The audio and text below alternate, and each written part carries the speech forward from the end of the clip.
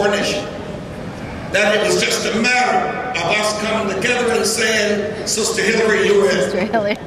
But for whatever reason, Barack Obama,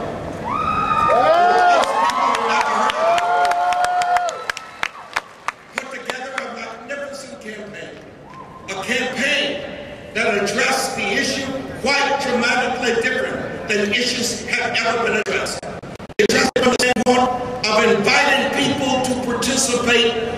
people who had never been a part of anything having to do with Democrats. I don't like the idea. I don't like the idea that some Republicans crossed over. And my guess is that in the end, Barack won't like me. I don't like the idea that those independents screwed around with who gets the nomination. I suspect as Democrats, we have a problem with that, and one of these days we ought to intelligently address that problem. But I tell you what I know.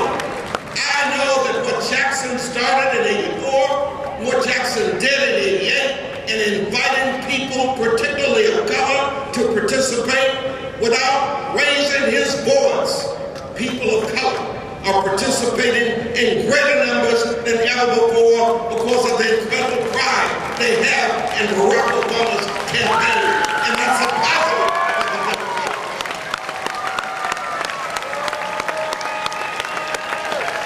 And let me tell you, when we set up the so-called super delegates, and I was a super delegate, if you could call it that, from the time we started in 84 till I left in 2004 when I got a contract with MSNBC. All those times that I was a super delegate, it didn't mean anything. Nothing except I got a right to go to the floor. I did not participate actively in anything, nor in any other super delegate. It was still the old way in which we do things. Well, ladies and gentlemen, this is the first year in which the super delegates may mean something. And I absolutely abhor all of these people that are screaming what super delegates ought to do. No, super delegates were put in place to do exactly what you do. They were put in place to evaluate what is in the best interest of the party and to make that decision. And each of the two candidates, I suspect, would frankly prefer to contest among superdelegates and let superdelegates be persuaded by their advocacy, to be persuaded by their commitment to issues, to be persuaded by the things that make decisions.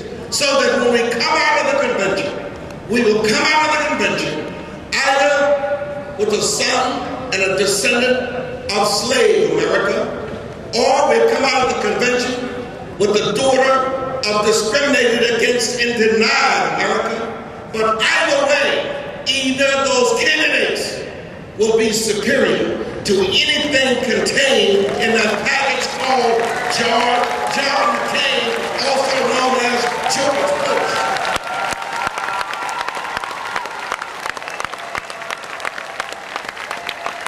So Democrats, so Democrats, whatever you do, whatever you do in your participation, do not let anybody move you from the rules. The rules are fairly clear, and they're fairly simple, and they can be followed, and they can produce the result that will be of most benefit to this Democratic Party. Any changing of the rules, any changing of the rules runs the risk of doing irreparable harm and damage. Art indicated that I lasted longer than anybody else in the world. At least in the state of California, to speak. There was one reason why I mastered the rules and I made the rules applicable, whether they were for or against me. I made people believe in the rules, and when they believed in the rules, they believed in my leadership, and that leadership led us to all those great years of what we produced. I said to you as Democrats, the rules are the rules. We carefully, from 1972 to 1984, moved those rules around. we carefully took the experience that some of us had from the management of conventions and from the management of the delegate selection process. And we got there. And I am absolutely amazed that how some of my fellow journalists now don't even understand what happened in Michigan and what happened in Florida. Let me tell you, the Democratic Party didn't have anything to do with when the election was held in Florida or when the election was held in Michigan. Those are decisions made by the legislature of those states, not by the Democratic Party. And for journalists to keep screaming that it's a party decision, it is not part. It never was a party decision. The party can't tell legislative bodies what to do and shouldn't. And so therefore, as Democrats, we should put our heads together and really find a way to make sure in November of 2008, both Michigan and Florida are in the Democratic column for the election of a president of these United States. Now let me suggest to you how that might be done. Let me suggest to you how that might be done.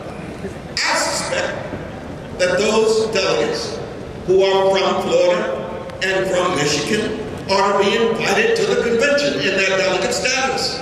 They just shouldn't be permitted, as the rules said, to participate in the one vote and the only vote that the rules were applicable to, and that's the vote on the presidency.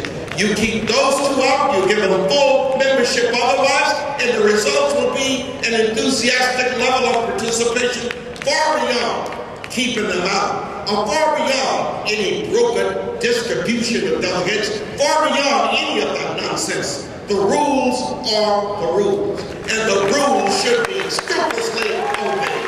And I said to Mr. Obama, and I said to Hillary Clinton, you ought to start walking with the interpretation of the rules the way in which they are. And then finally, let me tell you, there's no doubt in my mind, no matter which of the two ends up at the heap, we're beat John McCain. I saw, I saw, I saw Barack Obama on the floor of the Senate doing the economic package that they were putting together. He walked over to John McCain. He put his arm around John McCain in a jovial fashion, and they were talking. And I said, oh my God. Because what you saw on television was a young man assisting an old man across the street. Ah, I love it. There's nothing wrong with being old. But if you are old, stay out of camera shot of young, handsome, virile, good-looking people.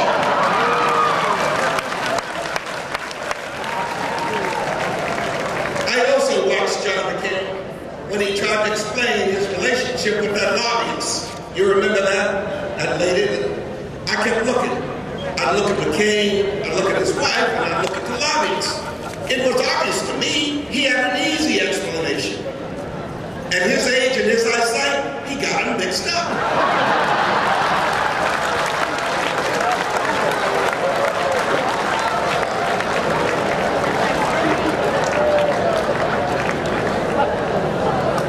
I am in love with this plan. It is the best thing that's happened in a long time.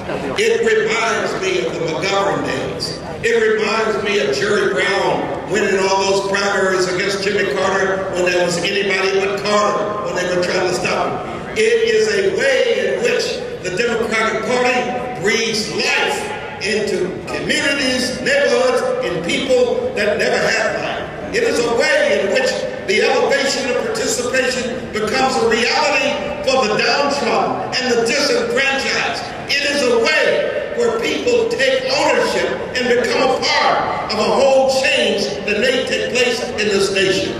We as California Democrats should try to provide the leadership at the national level. And when we get to Denver, we ought to have our voices heard. We have to be a part of all the caucuses. We know more about caucusing. There's a caucus for each and every one of you in here, like it's your own caucus. You invite people to come make presentations, and there's only one vote in the damn caucus, and it's you. We got so damn many caucus.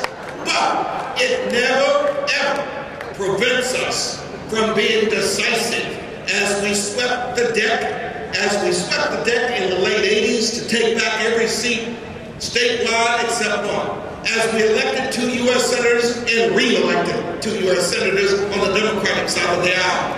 As we dominate the congressional delegation for the last four or five decades. As we've dominated both houses of the legislature for a number of years. It's because as Democrats, we know exactly how to put the numbers together to get the result. We must provide that kind of leadership for this nation because let me tell you, the Republicans are not going to go away easily. They're going to do their best to hold on to that White House. They're going to try every trick in the book to get there. They're going to represent things that never even occurred in anybody's life. As Democrats in California, we've been through that. We know how to deal with it, and we ought to help provide the nation.